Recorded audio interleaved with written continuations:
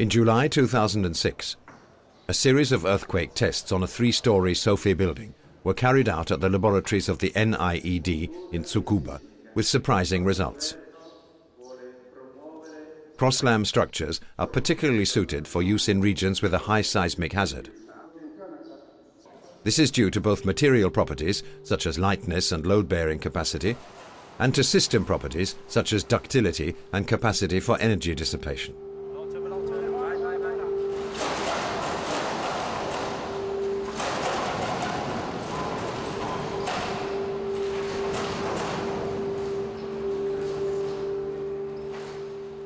We are built in Tsukuba, Japan, at NIED premises on the second larger, largest uh, shaking table in the world, uh, three-story SOFIE house.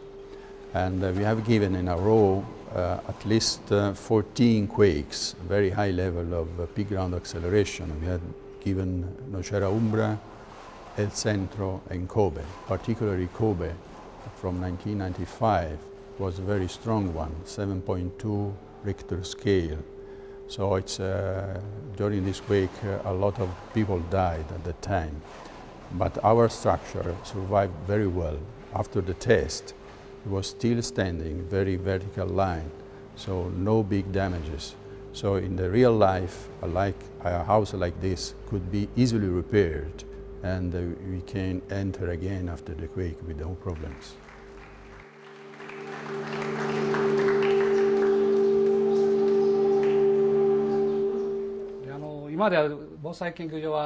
The NIED has already collaborated with different earthquake research institutes from the United States, but this is the first experience with an Italian institute, and we expect great results.